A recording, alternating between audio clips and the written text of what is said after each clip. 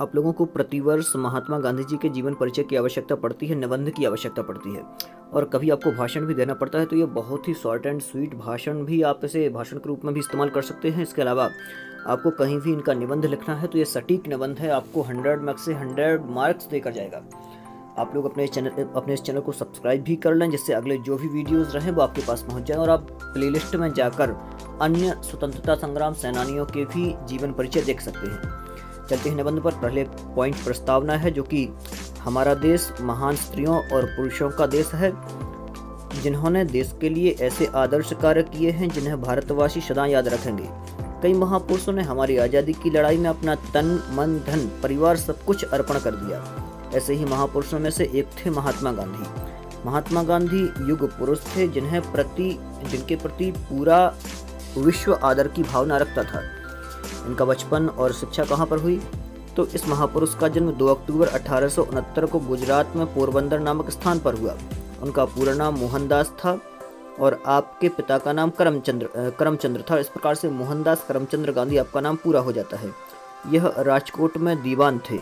माता का नाम पुतलीबाई था। यह धार्मिक स्वभाव की और अत्यंत सरल महिला थी। मोहनदास के व्यक्तित्व पर माता के चरित्र का भी प्रभाव पड़ा। और उसकी छाप स्पष्ट दिखाई देती है। प्रारंभिक शिक्षा पोरबंदर में पूर्ण करने के पश्चात राजकोट से मैट्रिक परीक्षा उत्तीर्ण कर आप वकालत करने इंग्लैंड चले गए। वकालत करके लौटने पर, जो कि वकालत प्रारंभ की और एक मुकदमे के दौरान आपको दक्षिण अफ्रीका जाना पड़ा। वहाँ भारतीयों की दुर्दशा देखकर आप बहुत दुखी हुए। उनमें राष्ट्रीय भावना जागी और वे भारतवासियों की सेवा में जुट गए। अंग्रेज़ों की कुटल नीतियों तथा अमानवीय व्यवहार के विरुद्ध गांधी जी ने सत्याग्रह आंदोलन प्रारंभ किए। असहयोग आंदोलन एवं सविनय अवज्ञा आंदोलन का भी इन्होंने नेतृत्व किया। इनके सिद्धांत कौन कौन से थे? तो अंग्रेज़ जो कि गांधी जी ने अंग्रेज़ों से विरोध को प्रकट करने के लिए सत्याग्रह को अपना प्रमुख अस्त्र बनाया। सत्य अहिंसा रूपी अस्त्रों के सामने अंग्रेज़ों की कुटल नीति तथा अमानवीय व्यवहार के विरुद्ध गांधी जी ने सत्याग्रह आंदोलन प्रारंभ किए।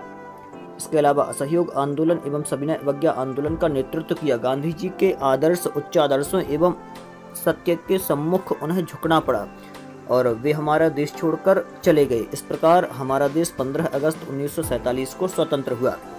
इनके अन्य कार्य कौन कौन से रहे?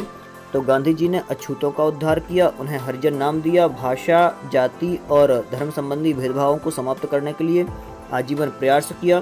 स्वदेशी वस्तुओं के उपयोग पर ज़ोर दिया, सूत कात ने सब सूत कात ने सब धर्मों को आदर से देखने और सत्य अहिंसा को जीवन में अपनाने की शिक्षा दी। गांधी जी को, जो कि गांधी जी ने विश्व को शांति का संदेश दिया। उपसंहार, अंतिम पॉइंट इस पर चलते हैं। गांधी जी ने प्रेम और भाईचारे की भावना से भारत की जनता के हृदय पर राज किया। वे देश में राम राज्य स्थापित करना चाहते थे। भारत की आज़ादी के पश्चात देश दो टुकड़ों में विभाजित हुआ, भारत और पाकिस्तान।